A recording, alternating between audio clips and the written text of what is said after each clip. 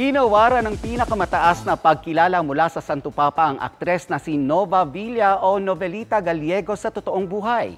Iginawad sa kanya ang Pro Ecclesia et Pontifice sa isang seremonya sa Quezon City. Kinilala si Nova dahil sa pag-aalay raw niya sa Diyos ng kanyang trabaho sa mahigit limang dekada sa showbiz.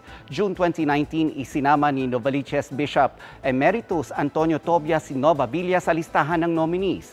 Bagaman ikinagulat daw ng aktres ang pagkilala sa kanya ni Pope Francis, handa raw niyang ituloy ang kanyang misyon bilang instrumento ng Panginoon.